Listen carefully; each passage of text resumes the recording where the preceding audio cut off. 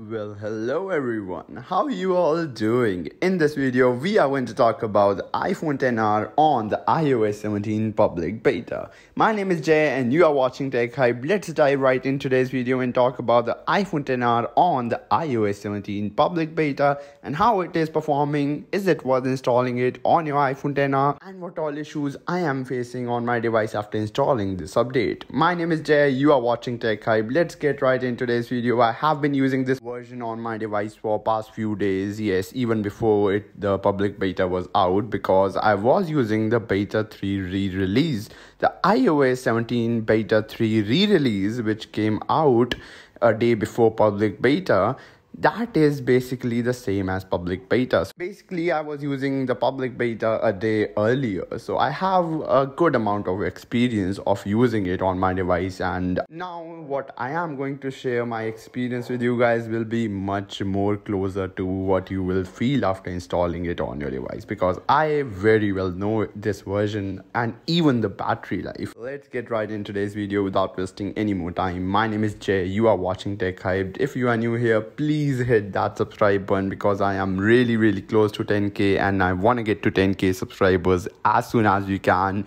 It would be amazing if you guys can hit that subscribe button as it is my birthday on 31st of July and it is my dream to get to 10k subscribers before my birthday or on my birthday. So please help me reach my goal which is 10k. Now that you have hit that subscribe button, let's talk about iOS 17 public beta on iPhone XR. Starting up with the performance. The performance of the public public beta 1 of iOS 17 is really solid. Not gonna lie, it performs much smoother than iOS 16 because iOS 17 has improved the animations. The animations on iOS 17 feels noticeably more smoother and responsive. Now, I haven't done a proper speed test, but in day-to-day task, it is basically the same, but uh, I have an instant that it will be a second or two slower if you compare it to iOS 16.6 or iOS 16.5.1. In short, the performance will be a, just a little bit slow. The animations will be really good, which will just clear it out and it will just even out the performance lag because the animations will be faster, so your brain will automatically think the app is opening quicker but still in real world the apps will be opening a little slower compared to ios 16 because ios 17 is a new version and it is yet to be properly optimized for a lot of apps apps have not received any updates to support iOS 17 or iOS 17 itself isn't optimized properly right now. So we have to give Apple some time, we have to give developers some time and improve the performance of our devices. Your iPhone XR will definitely perform better as the time goes on. Now talking about the battery life, this is something which a lot of you guys have main questions about because as devices get old, the battery life degrades and as the battery life degrades we have uh, anxiety of battery yes that's completely normal and i know battery is one of the biggest consideration when you are updating a new version on your iphone especially iphone. iphones are just not good in terms of battery life compared to android or any other device. The iphone XR performs surprisingly well. Even if you have low battery health it will not disappoint you that much. My iphone XR has 81% of battery health. Yeah it, it has its time to be replaced really really soon but it is performing really good. I'm easily getting 5 hours plus of screen on time, which is for a fact 5 hours plus screen on time is really really good for a device with 81% of battery health and that too the biggest factor playing here is that it is on a beta. iPhone on a beta and that too with 81% of battery health uh, 5 hours plus is really good. And and and don't worry i know if you're new to ios because a lot of people are new to ios this year there are a lot of people who are installing betas for the first time because apple has made it free for everyone. So there will be a lot of new people enrolling in the betas don't don't have this anxiety because this is pretty normal. If you want to experience the new features and changes you have to give up on battery life. And 5 hours plus for the details i gave you 5 hours plus on iphone XR with 81% of battery health and i'm saying that this is good.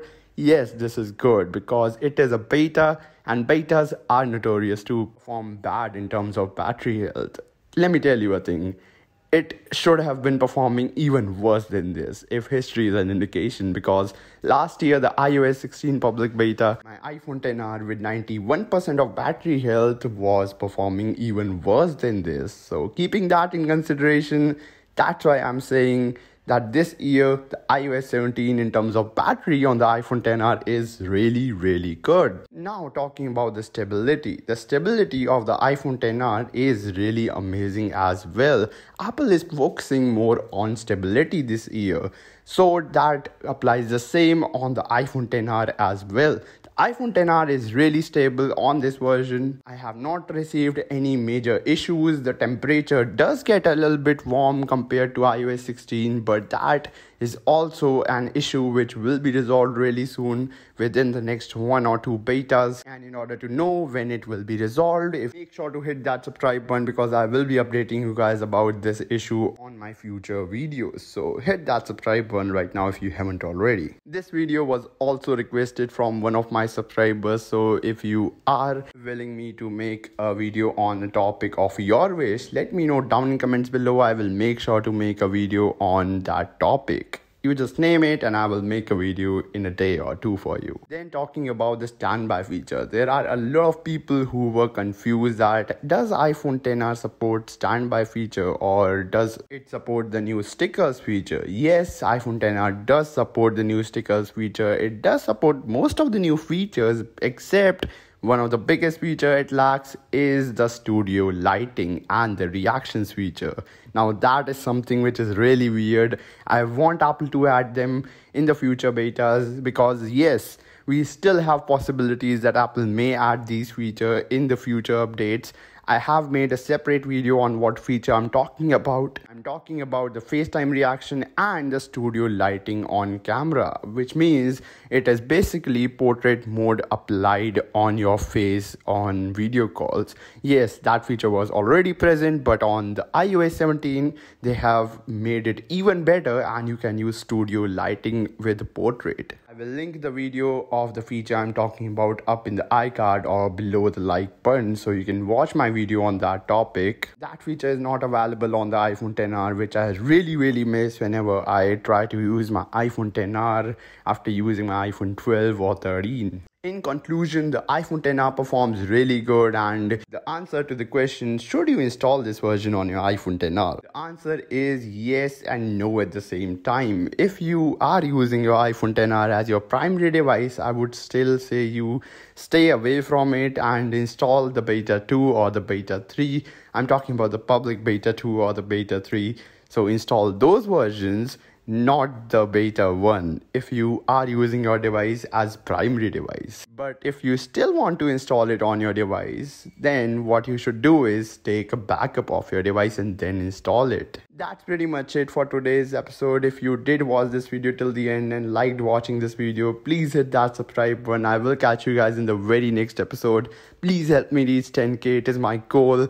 Please share this video and let your friends know about me and help me reach 10k. Thank you so much. I will catch you guys in the very next episode.